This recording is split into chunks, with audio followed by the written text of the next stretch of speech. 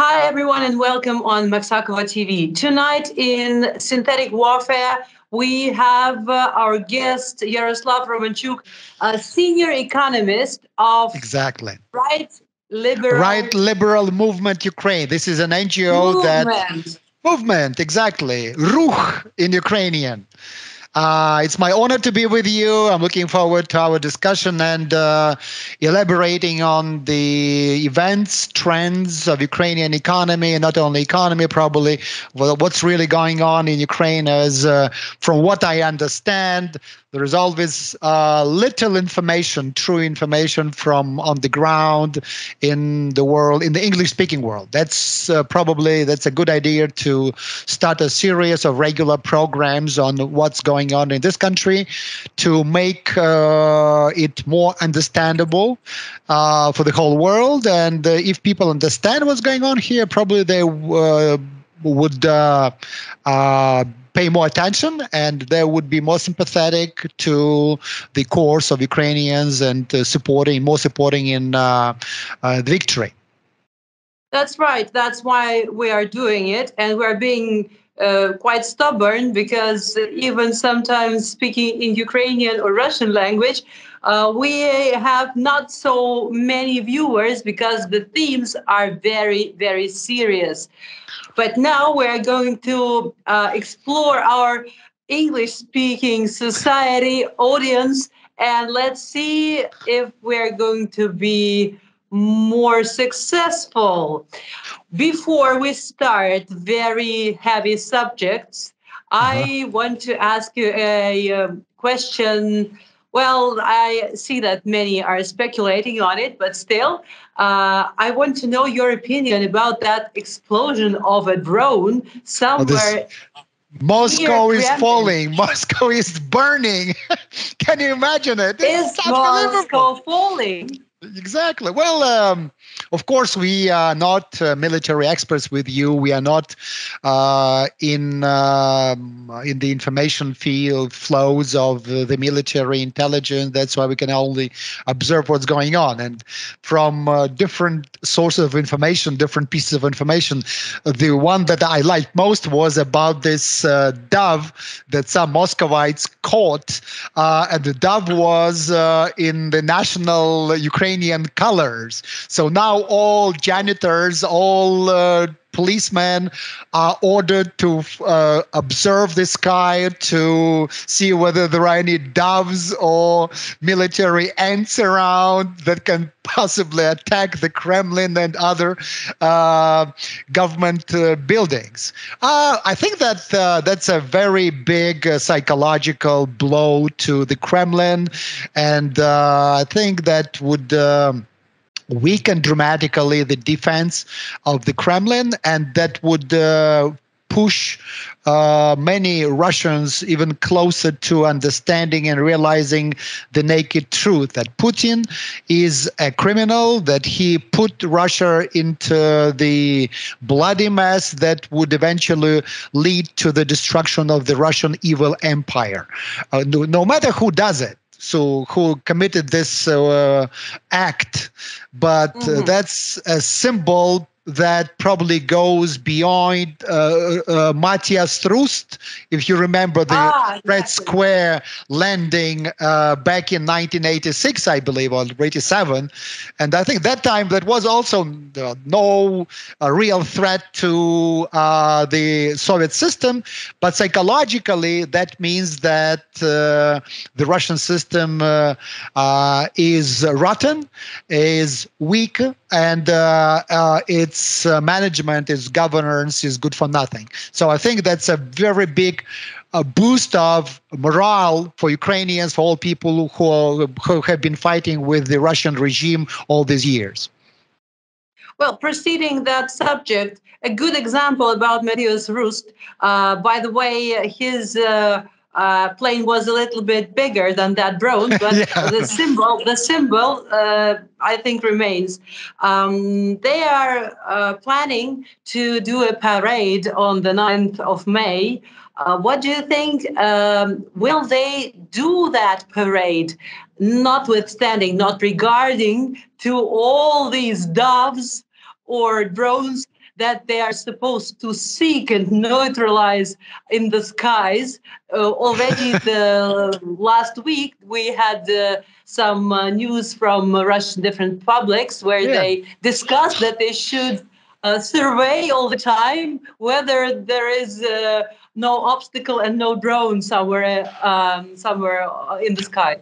Well, the whole uh, evil empire will turn into one surveillance system that would uh, act as an anti-defense system, but that's uh, ridiculous. I believe. I think that uh, we know that uh, Putin has uh, many clones, and so he can stage, perform this parade, and essentially, even if he does it, and the whole city, Moscow, would uh, turn into a surveillance platform that would mean that would show how scared these people are and uh, that eventually they would uh, well people cannot live long in such the state of fear so that means that more and more people would see the imminent and inevitable end of the Russian evil empire, and uh, the probability of a plot against Putin would definitely go up. And that's the fundamentally the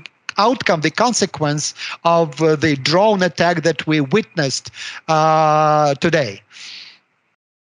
Right. I think that our audience is already slightly prepared for more uh, serious subject. Serious stuff. and I suppose we're going to discuss, first of all, um, that uh, beautiful combination of words grain from Ukraine grain, trade, sunflower and agricultural products, common agricultural policy of European Union, and the brutal reality of regulation. Well, uh, many people in Ukraine and in the world believe that European Union is about free trade, free capitalism. Uh, well, uh, we are gradually and as we're kind of, you know, uh, uh, observing the difference between free market ideas and the implementation and the protectionist uh, trade bloc. European Union is heavily regulated, and especially its common agricultural policy is nothing but socialism in many respects, like quotas, like licenses, permissions. Uh, there is a very limited area where you can exercise really free trade, free market there. Uh, what happened uh, was unexpected, both uh, by Poland, uh, Hungary, Slovakia, Slovak, Czechia, because the inflow of uh, Ukrainian grain was so big, it was like t- many times, 10 times, 20 times more than it was in the previous years. And there was there would be nothing wrong if that grain would transfer through or like go in a transit mode through Poland and would be uh, uh, shipped to the destination uh, via the sea. But uh, Ukrainian exporters decided to use the storage facilities in Poland, and that and uh, a lot of grain, uh, instead of going to Africa to other destinations where allegedly uh, there is a danger of food shortage and and uh, famine, the whole grain landed in Poland and caused dramatic uh, dumping of prices. So Pol- Polish farmers, there are many, many thousands of farmers who did not sell grain in autumn and winter. They thought that grain prices would be very good uh, in spring. And instead of that, they faced the situation when they were facing losses. And of I'm course, sorry, I want to uh, to to um, make a question. The storage of that grain yeah. costed already a lot of money, probably to them. Well, that's uh, so heavy. Well, the cost is one thing, but uh, if you offer uh, to Polish uh, uh, grain dealers a price which is like 20 or 30 percent lower than the price of Polish farmers or international farmers. And you dump then the price. You dump, you dump the price. Exactly. Well, that's what happened. In addition to that, uh, I uh, I heard that from uh, the Polish sources, uh, grain that was stolen from Ukraine by Russians also somehow landed in the European market, uh, dumping the price. So uh, that was an, unusual situation, and the Poland. and one more thing that also describe can just help you understand the position of the Polish government. Uh, 90% of all export of grain from Ukraine or import to Poland was done by one company, one Ukrainian company. That means that it was a deliberate effect, not by uh, free market farmers in Ukraine who wanted to sell their produce because they wanted to free their storage f- uh, facilities in Ukraine before uh, on the eve of the next harvest, but that was an attempt to um, somehow uh, abuse the uh, this ability of uh, the uh, regulatory uh, window of opportunity that it was created by European Union, and uh, this mixture of uh, Uh, of um, kind of uh, irregular behavior, I would call it, with uh, dumping. Some more questions. I have still some yeah. more questions because, for instance, if someone came with grain from Ukraine and made a good price not thinking about damping the price he just wanted to get rid of a big amount for example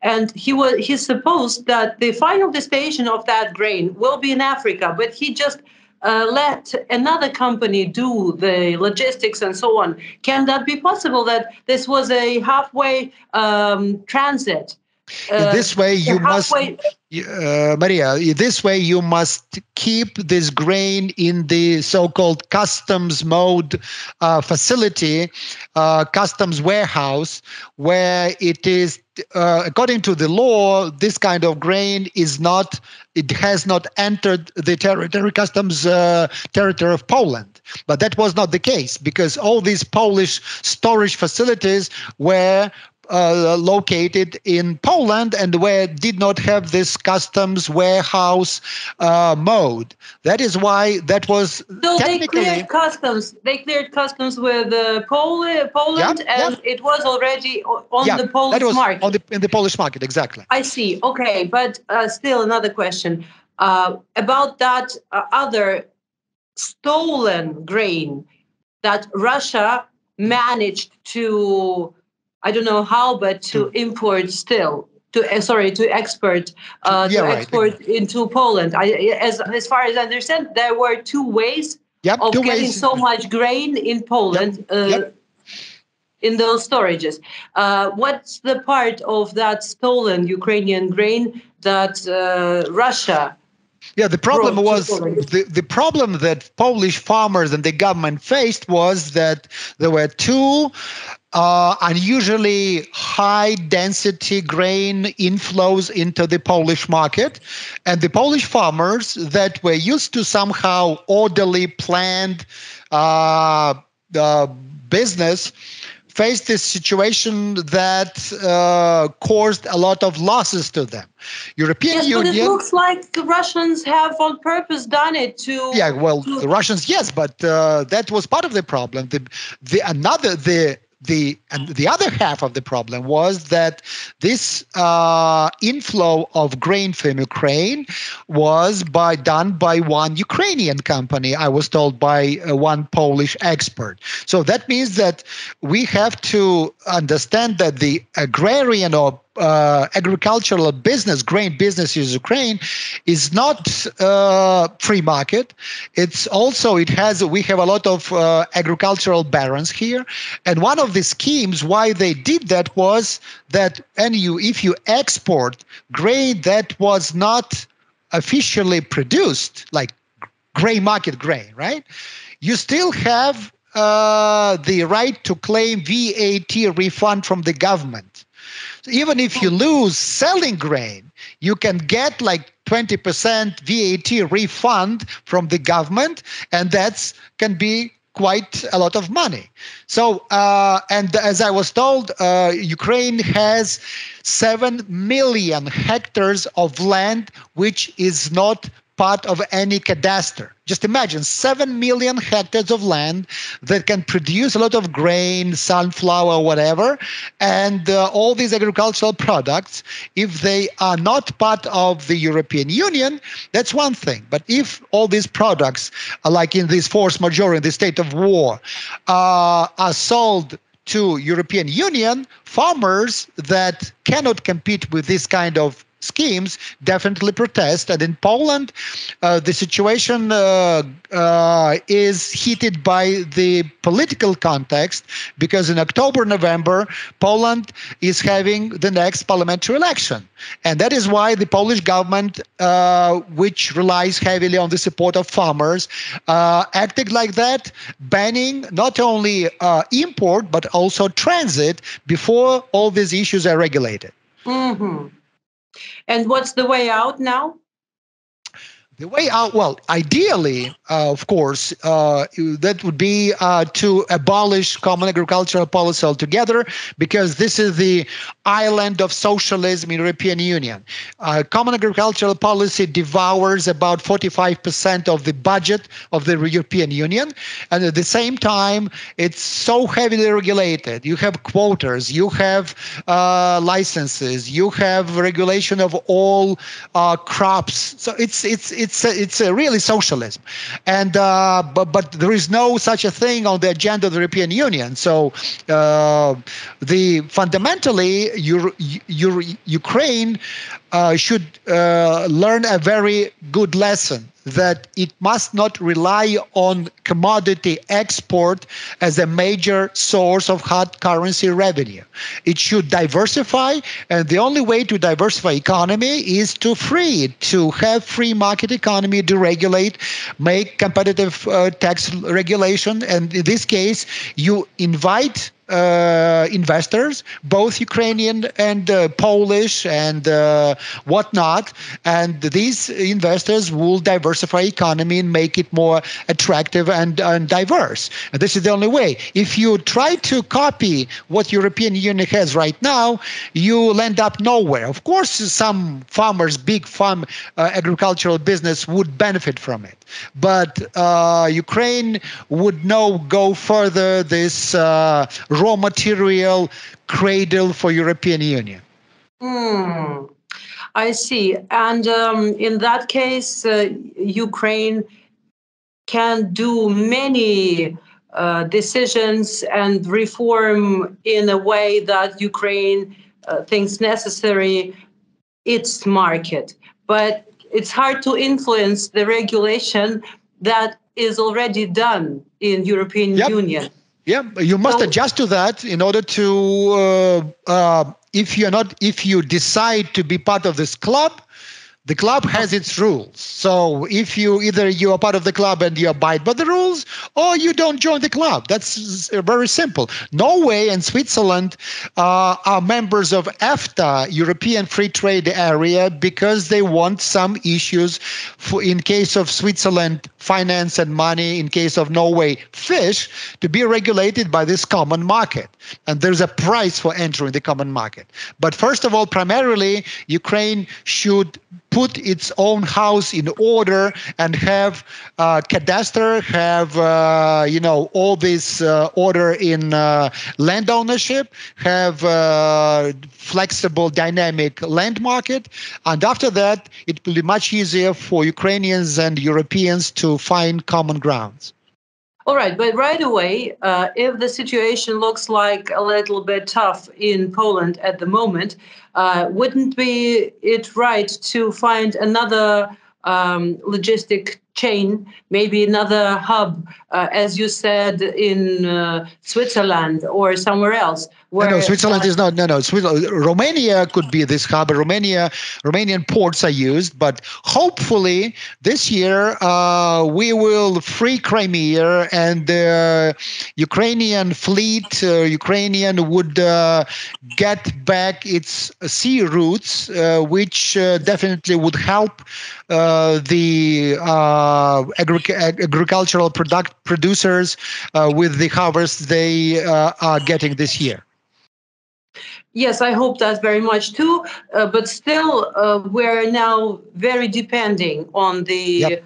uh, decisions that are taken in the Eastern Europe, and as I can see that uh, uh, the European Union itself is not totally satisfied by that uh, which were taken practically by these five countries. Mm-hmm. mm-hmm. And uh, well, uh, maybe there is still a way to to find maybe I don't know uh, uh some ways and some other hubs and some other logistic uh, chains and ways uh, not to burden and not to harm too much. precisely these Polish farmers, but still to have ways to export grain. Well, in this case, you know that uh, if we are talking about transit of grain or whatever agricultural commodity, yes. that's one thing. So we, there are ways, technical ways to uh, to avoid getting uh, well uh, these products into the domestic market, EU market. So you can have uh, uh, cars in a special way sealed, so that these seals show that it's transit. You can have the cars that follow trucks, and as it is is done with uh, uh, tobacco or alcohol. There are many ways to do that. But uh, essentially, what should be done, uh, in fact, is that if presidents of the countries get together, prime ministers, and they set a deal, this deal must be followed. Otherwise, if agricultural producers do that on their own, uh, at their own risk, they should uh, face the consequences. In this case, somebody who wanted to do business, you know, and he uh, performed in the way that jeopardized the uh, strength of the relations between Poland uh, and Ukraine on the one hand, and uh, of course uh, the ties are very, very good and high quality interests, and they do not uh, cannot be kind of anti-risked by grain or sunflower, or whatever. So there must be uh, clear dialogue and very um, detailed dialogue with uh, between the government in Ukraine and agricultural manufacturers inside the country. So that's something that is missing because if there's a dialogue or setting rules of the game between the government and these guys, then I think that uh, then uh, we would not face this situation. Because in this case, what I saw is that that was somehow uh, came quite unexpectedly to the Ukrainian government that was not ready for this kind of reaction. But I think that they, the government got many signals because this kind of the volume of grain and other agricultural products was big, so big that it cannot be delivered overnight or within one okay. week. So the, there was a different flows that uh, uh, that that happened uh, for a certain period of time. Okay, so basically, we have now, uh, as you say, these guys who uh, did not expect to face regulations of mm-hmm. uh, higher level, and mm-hmm. that's the situation that came up just because they thought that they can uh, do it uh, so yep. as you said in a free way or in a way of free market but i yep. have still one more question If they already have uh, somebody waiting for this grain in Africa or in some Asia countries, I don't know where exactly, but still, and someone who is going to buy it, um, uh, why are you building up another one who buys your grain when you already have someone who is waiting for it? Uh, you you made one assumption that somebody is waiting or somebody has paid for the grain. That's not the case. That's the problem.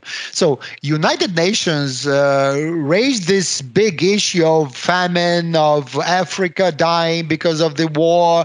Many, um, hundreds of millions of people would suffer uh, malnutrition. But in fact, if I was UN official, I would say, well, please sell it to me so that I have it in the storage i would pay to polish farmers for storing this grain extra grain. And when we when we have this spare capacity we would export it to the countries of destination. But uh, when uh, there was this uh, PR campaign conducted by Russia with UN that there is famine, that you remember even Lukashenko wanted to uh, uh, provide a helping hand, saying you can export grain through the territory of Belarus. And that was like uh, Ukraine was put in the situation that it is a problem with this situation in, in this context. But when Ukraine delivered grain to Poland, you, UN can easily solve the problem by providing assistance in the situation. But what we see from UN, it does nothing. It just keeps silent. And that is another uh, evidence that the United Nations is the organization that the world, if it disappeared, would never notice. In a way, yes, but there is another thing. We unfortunately can notice some uh, some of the issues that follow because they are doing something, and it might have been an intrigue uh, in common with Russia. I'm trying to figure out maybe they were doing it on purpose altogether because I don't think that uh, Ukrainian farmers uh, or that uh, precise company uh, uh, was willing to get any problems by selling the grain. Uh, yeah, I think that they just wanted to have a way to export the grain and to stay well with some money and possibilities, notwithstanding the hard times that uh, Ukraine is facing right now. So I'm thinking, uh, why did not UN assist in that question? Why did they all uh, wait until the situation uh, blows up with these new uh, scandals? Uh, because now we have a side that suffers from from that. Well, Poland is suffering. Uh, you know, Ukrainian farmers also are uh, a victim. Uh, we have uh, Czech Republic, we have Hungary, we have some of this uh, flavor of the conflict that shouldn't have been, right? So right. I think in this situation, well, of course, uh, what we are witnessing is the weakness and fragility of the international order of uh, WTO and EU itself. Because you remember the first reaction from Brussels was that Poland doesn't have the right to do it. So allegedly, it yeah. broke the rules of free area as Ukraine was granted this right to import goods from Ukraine to European Union. As Poland is a part of the customs union, uh, it is not responsible or it cannot set rules of the customs union uh, single-handedly. It should be in coordination with other members. And uh, but at, at, the same time, there are like emergency cases, and Poland uh, uh, used this uh, uh, opportunity to introduce emergency measures, uh, stating that uh, Ukraine broke some basic fundamental rules of uh, free trade. But anyway, now we see that the governments of uh, Ukraine and Poland and other Eastern European countries are in touch, and they're solving all the all of that um, yeah, hopefully, you know that I keep repeating that Ukraine is a wonderful opportunity for the European Union to get rid of overregulation of the burden of this uh, socialism that it is deep in. And uh, uh, again, if Ukraine uh, embraces all European regulation with the uh, weak institutions it has, um, I would see that it would never ensure long-term fast economic growth it deserves. So essentially, it should rather model its policy on uh, uh, 1990s Estonia or 1990s uh, Ireland, rather than Greece, France, and Germany and Poland as uh, they are as they are today too tough regulated i see okay um, what's the next subject uh, we're going to discuss tonight? yeah the next subject is about uh, foreign investors because uh, there were two major international investment forums held by ukrainians okay. and uh, that's about uh, the appeal appeal or the measures that Ukrainian government is offering uh, for investors and trying to attract them. Uh, mm. There was one uh, forum in conference, recovery conference in Rome.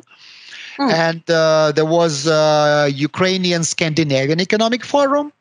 And now the Ukrainian government is getting ready for Lugano 2 summit in Switzerland with uh, many businessmen, and that is another opportunity to present the case for Ukraine. Ukrainian government, in this case, is acting as a rather as a consulting company or agency to promote uh, investment opportunities instead of delivering on macroeconomic institutional reforms. Because when we have, uh, like Mr the president, when he talked to Italians, he said that uh, he is interested in five key areas energy, which is obvious, energy, right? We have construction, we have technology, we have access to global markets, and cooperation in pharmaceuticals and physical rehabilitation. And what the president talks about these things, which are in line with uh, what uh, Prime Minister Shmyhal earlier said about the 10 priorities of his government, we see this evident role, uh, evident approach to policymaking as a uh, manual management of business and structure of the economy. Ukrainian economy has never had a structure, uh, its structure in a, which was formed in a free market mode. It was part of the Soviet Union. The Soviet Union evidently was not about free market and uh, entrepreneurs. Uh, the last 30 years, that was uh, like uh, in the mode of uh, post-Soviet, agrarian, raw materials, transit of uh, energy goods, nothing else. So regulation and taxation killed uh, the uh, the efforts of uh, many Ukrainians and foreigners to uh, overhaul its structure. Now, if uh, Ukrainian government after the war uh, tries to manually uh, design the structure of the economy instead of free market, we would have another reincarnation or another copy of the interventionist of socialist economy. Now, that's a big danger because instead of saying that we would, I would, if I were president or prime minister of Ukraine, I would say, you know, dear investors, we uh, welcome you with the most innovative monetary policy where we have six currencies in circulation so you don't have any transaction costs. We have just three taxes. They're flat, they are simple, and even a, a teenager can handle them without any accountants. We have international, we have English uh, court system here, and if you case you have any problems, you go don't go to Ukrainian court, you go to international court. You have we have privatization, we have free market, and we have competition of standards and norms of uh, of quality of goods. So welcome to Ukraine, and you will feel like in Hong Kong in the 70s or 80s, or you will feel like in Taiwan or Ireland. Uh, so we will solve your problems with China so we'll okay, because right now many uh, big uh, value chains uh, want to diversify from China due to uh, geopolitical tensions. We can uh, really provide a lot of uh, capacity to the military facilities, military uh, business that many companies in the European Union and America have. Uh, we can provide uh, energy support, of course, based on access to uh, land and to raw material that we have. But the dialogue should be that the government does its job and you're welcome to make the best use of the business opportunities. The government shouldn't act as a businessman. That's a different role because this is what a corporate state is about. It uh, interferes with business by exercising its monopoly power of using very many things. And what I see from these investment forums, and it's a copy of the forum that uh, Ukrainian government had in Lugano in June 2022, that there is a strong kind of in, incentive of the government of Ukraine to act as a marketing agency, as a consulting agency, rather than the government that creates conditions, sets mm the best investment and business climate for whoever wants to invest into Ukraine. And by doing that, I don't think that many uh, serious investors who study uh, legal framework, who study uh, tax uh, issues, who study regulation, who study the uh, purchasing power of Ukrainian market can decide to uh, come here. You know, in 2022, when the war can this entered this hot heated phrase, uh, Ukraine created this wow effect. Everybody was uh, uh, amazed, was uh, mesmerized, was uh, uh, really shocked positively by the bravery and heroism of Ukrainian army and people. Right now, in economic policy, we should provide these wow effects to the whole world so investors wherever it is in scandinavia in rome in washington in bonn in london see that we are serious about long-term economic reforms and these reforms should definitely be free market one note that ukraine has never in 32 years even offered a free market reform proposals to the whole world. Hence, it is one of the poorest, if not the poorest countries in Europe, and it has been in the state of investment famine for many, many years. Um, we're discussing those two forums that already were held, one in yep. Rome and the second one in Scandinavian countries.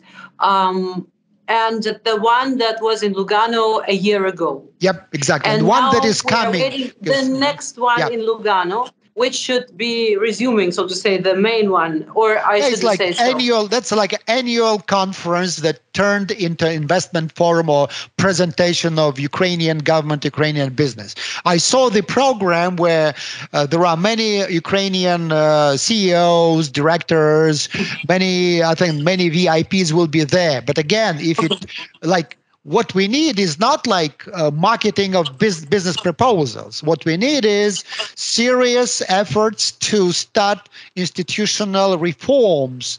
And we're talking about monetary policy. We should talk about fiscal policy. We should talk about privatization, social security, trade.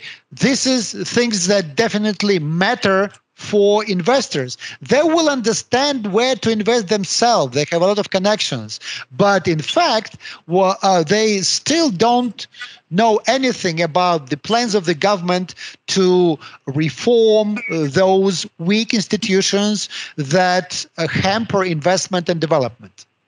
All right. The point is that uh, invest right now for many looks a little risky and maybe not a little so well, the conditions, yeah. the conditions should be more interesting than somewhere in Europe and not as in Europe because Absolutely. as in Europe plus risks is not very interesting. You can uh, find, so to say, more safe places with yep. the same conditions.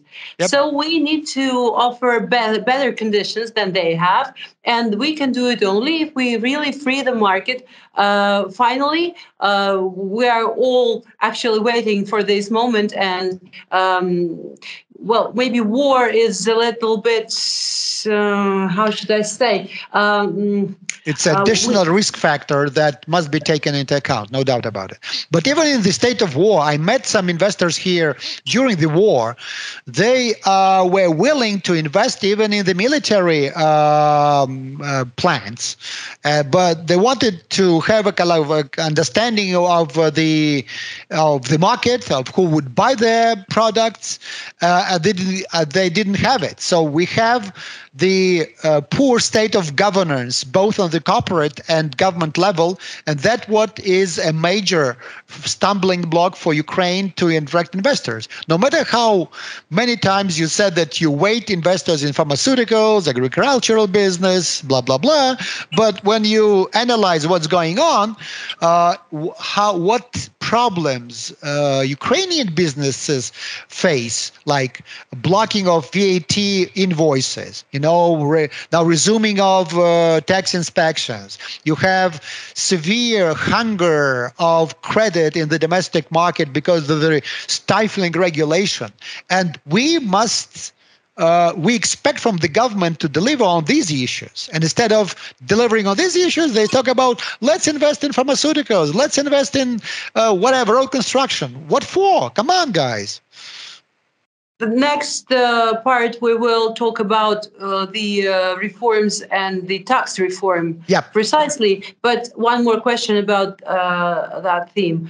Um, does it look like that those who CEOs or any other people who were interested uh, went there to look for these kind of investors and investments, and that they came back with some reports and maybe they made those reports, and maybe these reports look as if someone has interest. Maybe they, um, how do you say, hypnotize uh, themselves.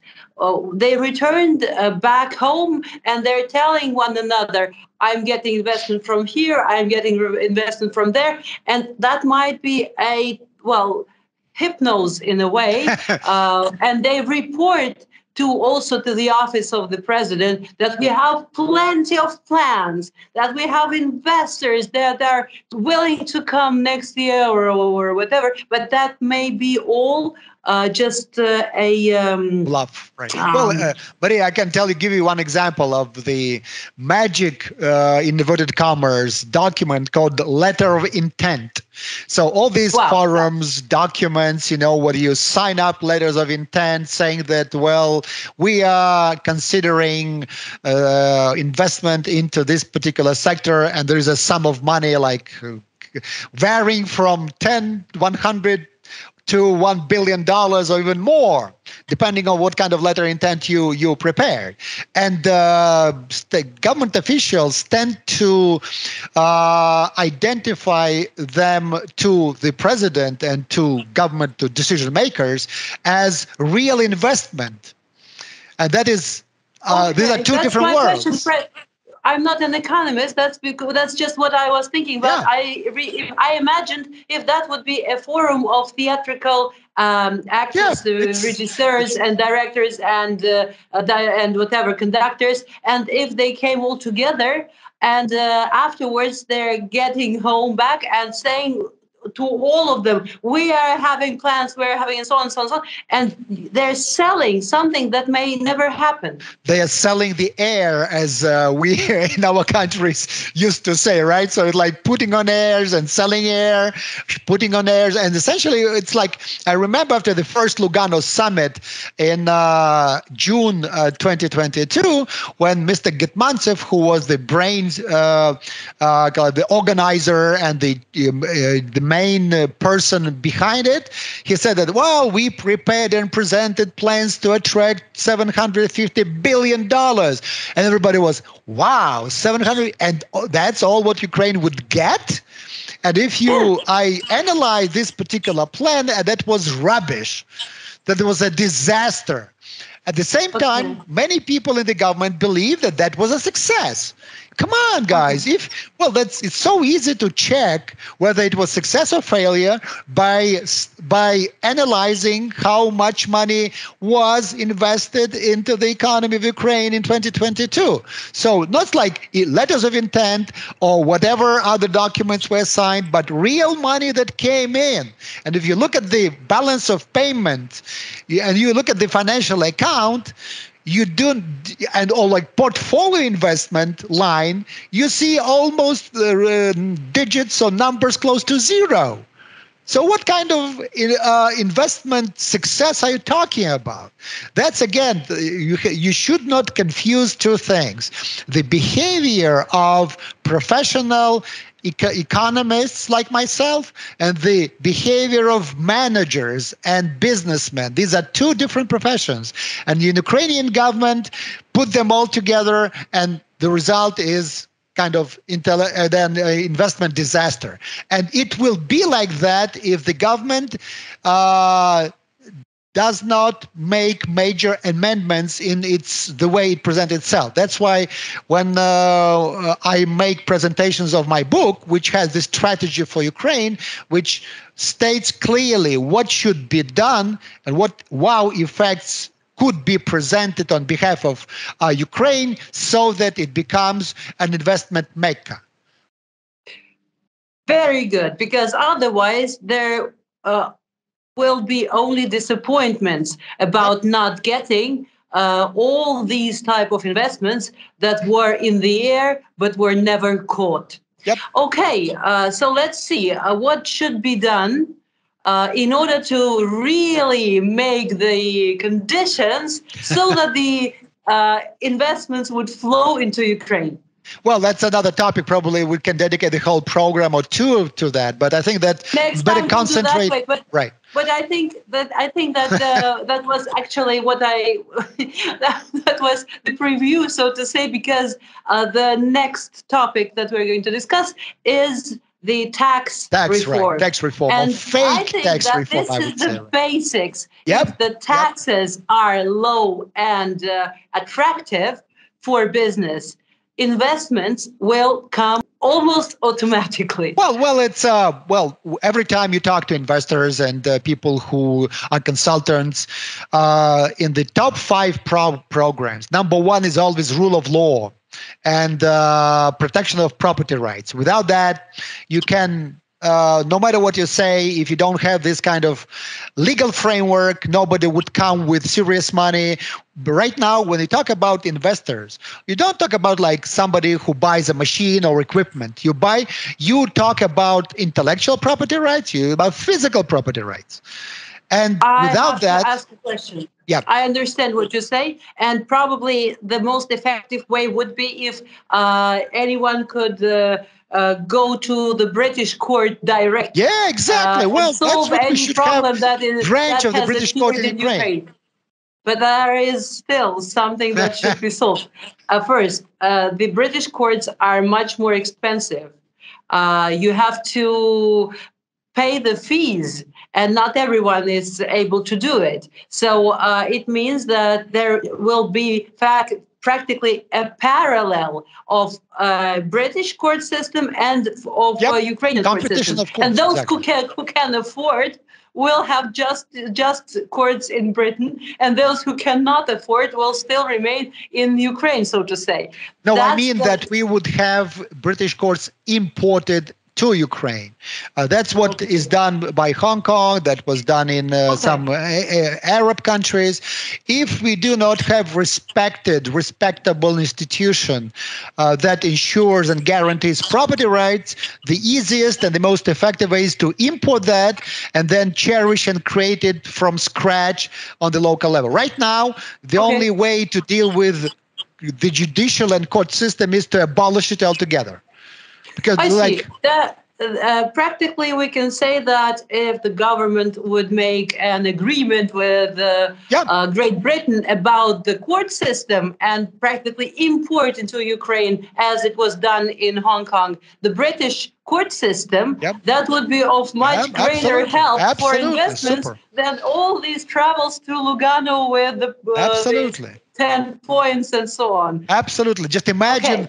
again another wonderful wow effect thing that we will uh, make English the English language or the second state language in Ukraine. That's a wonderful opportunity. And we could begin with it from children, from Kindergartens and school, high schools, yes, in the kindergartens schools. we could have uh, this nursery system because children are taught basically from three years of age, and uh, th- I think there are some well people who would like to come and teach uh, English. Uh, to Ukrainian children. there are many things that we can easily and gladly import from Great Britain, including insurance system, which is one of the best in the world, including banking system, including stock market experience, including the military equipment and production. You name it. It's like if we just imagine the British Empire giving a helping hand to Ukraine and Mhm. making it a superpower which uh, in, is in sync with the biggest challenges that the West faces. That's a really great opportunity. But what we again we uh, want to uh, elaborate a little bit on the fake tax reform that was announced by the government and Mr. Uh, Getmantsev, and that is uh, a very good case to show how to not conduct economic policy because instead of uh, having a meaningful dialogue with business community with the scholars experts on what uh, kind of a tax system Ukraine should have, Mr. Getmantsev is thinking rather about the welfare of tax inspectors, of tax police, of tax workers. And this draft law, there's a lot of attention which he pays to the welfare of these people because they are uh, like you know the wolf in the uh, in the chicken house. And uh, there is no way this person who is a marxist who is a uh, supporter of authoritarian ideas and the person who is uh, uh, accused by many journalists of being the assistant assistant of one of the Russian spies, could deliver meaningful reforms. So this guy uh, is one of the biggest. Uh, black spots on the uh, uniform of the Ukrainian government right now. And uh, he uh, he insists on uh, canceling on abolishing the 2% tax that was introduced in the beginning of the war. He uh, agreed with the imf probably that was his own proposal to resume tax inspections.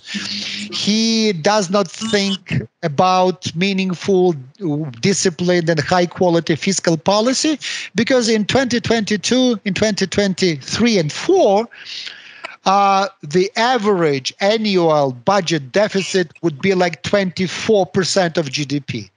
That means that the country is not sustainable. It's totally dependent on the assistance from the uh, foreign partners. Uh, its uh, government expenditures in 2022 uh, were close to 70% of GDP, which is uh, an evidence, uh, a sign of Ukrainian economy in the state of the military socialism. 70% of GDP. To compare that with Belarus and Russia, that Russia and Belarus had 35% of GDP. Just imagine 60.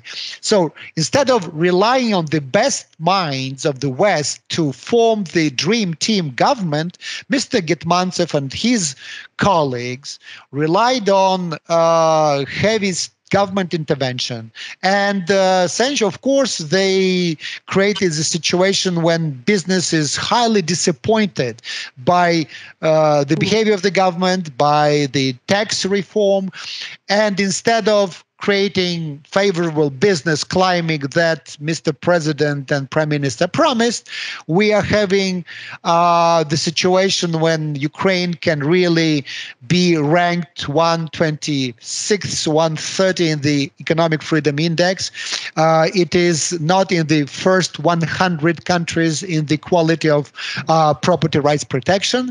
And with, with this kind of uh, environment and quality of institutions, you must be very brave in presenting tax reform and fiscal reform. Instead of that, we see Mr. Getmantsev, who believes that the best businessman, investor, and manager of resources is the government. And that is what socialism is all about.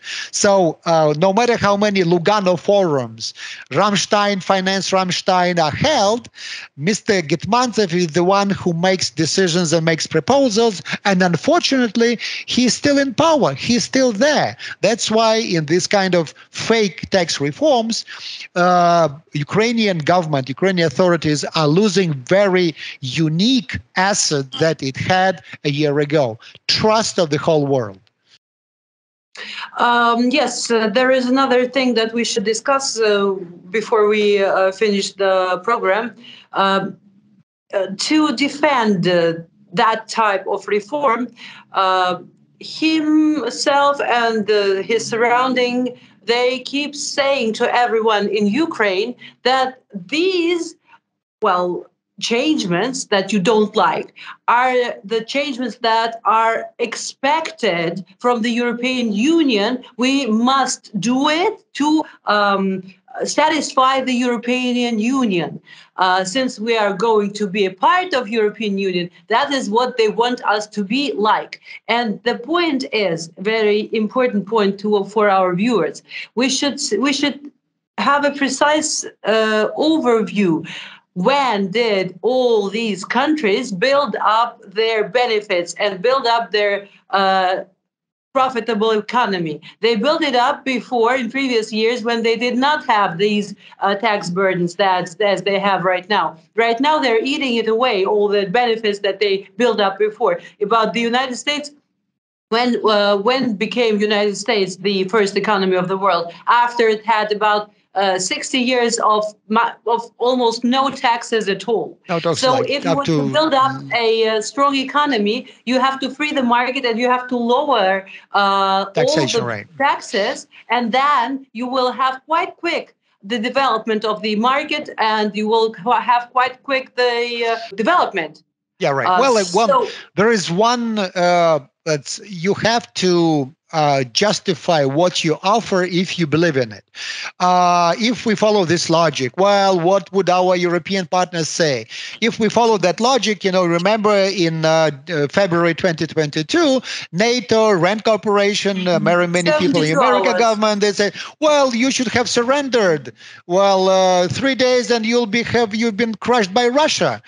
Ukrainian people, Ukrainian society, and the army thought differently. And that's why we are alive. We are fighting for freedom, for independence, and we proved NATO, American, EU to be wrong, including Scholz, including Macron, including Italy, and including the American administration. Likewise, in development, this is not a uh, uh, rank and file case. Well, Ukraine is in the state of war.